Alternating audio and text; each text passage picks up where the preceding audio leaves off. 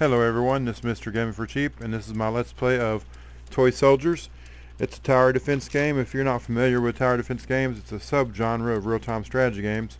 What you got to do is defend your base and you do that by building towers. It's not always towers like in this game, it's like machine gun emplacements, and towers and howitzers and things. But this game is is pretty cool. I just bought it on Steam. It was on it's on sale this weekend for 750 normally 9.99 but uh, if you can see there on a little miniature battlefield inside of like a toy shop or something, and your object is to defend your tower, or yeah, I'm sorry, your base. So let me see if I can find find that. Okay, here we go. Just that right there, that's what I'm defending. If I let troops through there, um, then I take damage. Right, you lose a life basically, and you get so many lives in every every round. But what's cool about this tower defense game, and something you normally can't do in tower defense games, is, is um, I can take control of the turret. You can see they're little plastic soldiers, and they're going to go attack. And I can just mow them down. Now, as you go along in the game, um, more and more types of towers unlock. I believe in this one you only got one or two types of towers. But the enemies come at you at wa in waves, and the best thing to do is at the end of each wave you spend your money. Every time you kill a, an enemy, you get money, and use the money to buy more towers. It's, it's a really charming game. Kind of cute to watch. There's a guy sneaking by. There's another guy trying to sneak by. There's one way over there. So I'm not doing too good.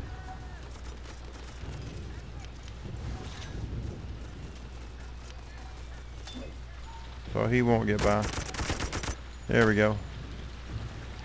So yeah, he almost made it into my base. When he makes it in your base, you lose life. I believe that's probably your life's uh, here at the top left. Now over here it tells you which wave you're on and what's going to come during this wave. This first match it's all infantry. But you can also upgrade towers.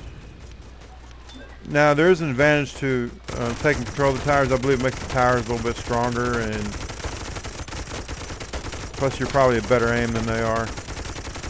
This is kind of fun. Most tower defense games what you do is you build and then you just watch. In this game you build and then you actually take control of towers so it makes it more fun. What I like too is, is like uh, they kind of blow up, kind of like if you ever played the any of the Lego games. These guys blow up too. Little pieces of plastic fly everywhere. Now here we go. I'm going to upgrade this tower here because this basically is the tower I'm going to control the whole game. So I want to make it strong first. Now here's another thing you do. You can place barbed wire. Barbed wire just slows them down, which is good. It gives your um, what you call it, your machine guns time to take them out. And you get bonuses too for um, killing them quickly. Like I got a times three bonus. There's a times five. And there's achievements. This game plays on uh, win or what is it, Windows Live or whatever. Those guys just went right through that.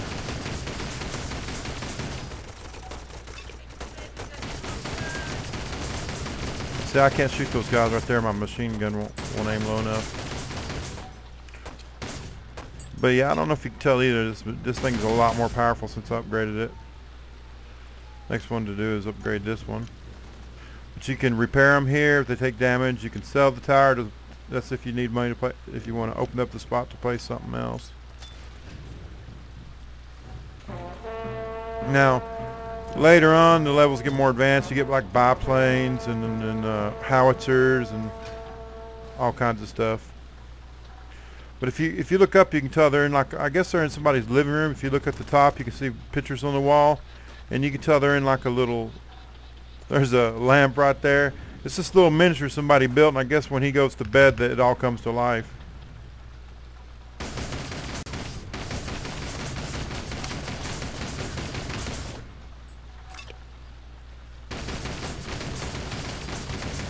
I am playing ahead a little bit, like I'm on like level three, I believe. And the only reason I'm doing that is just um, I find on this kind of game it's more of a walkthrough, just showing you how to play it. And you don't want to see me sit here and play for 30 minutes and lose and have to start over. So it's easier just to play it first, one level, and get the hang of it. Honestly, this level right here is pretty simple. I beat the first time through. Now I'm on level three now, and uh, when I'm playing off camera, and I've had to repeat that one. Well, I've lost twice. I haven't beat it yet, but that's fine. I'll, I'll beat it, but there's basically a boss unit comes, and I won't ruin it for you, but the boss monster is whooping my butt. But this game right here, I love the graphics. I love the premise that you're you're like a uh, the level of detail and the premise of it that you're fighting um, toy soldiers.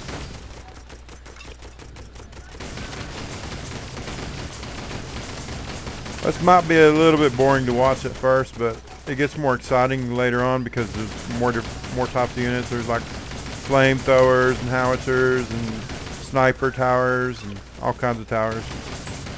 I think there's about a dozen different types of towers.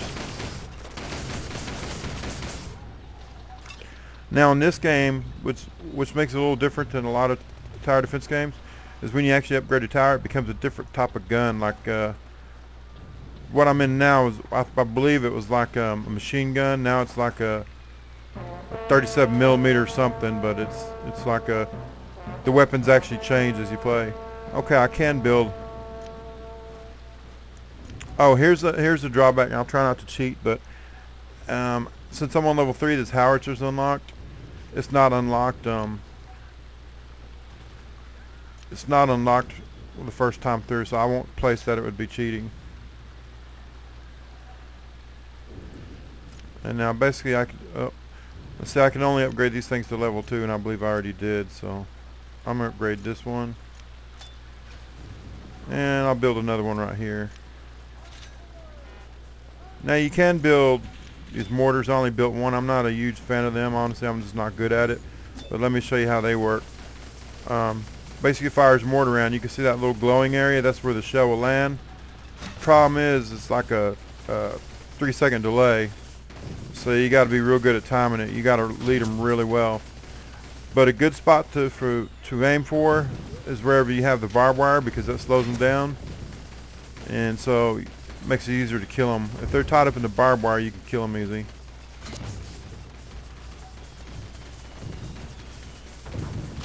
Oh, I do forget too, um, this thing will fire two or three shots at a time, so you can see right there I fired two or three shots. I believe it's three shots. So you can see them all, all hit in quick succession. Now I can move them around a little bit. That's actually a better thing to do.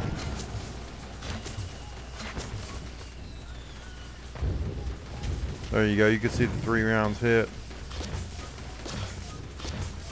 See how I do there. I got a few of them.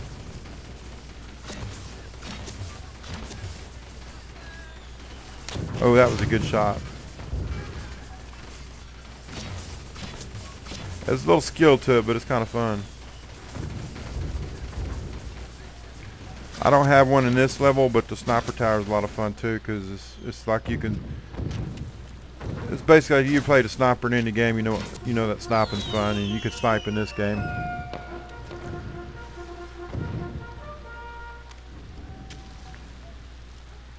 So now I forgot, I need to uh, level this stuff up.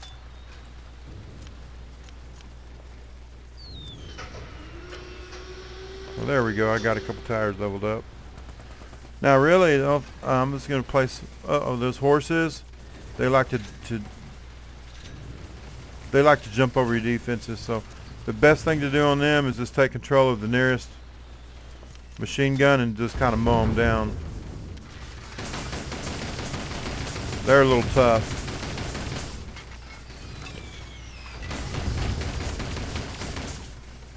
You can see some kind of vehicle over there. Let me see if I can take control of a closer gun. Oh, it looks like my guys took them out in time. So there we go. That's level one of Toy Soldiers. Uh, we'll go ahead and end that ep episode here, and we'll see you next time.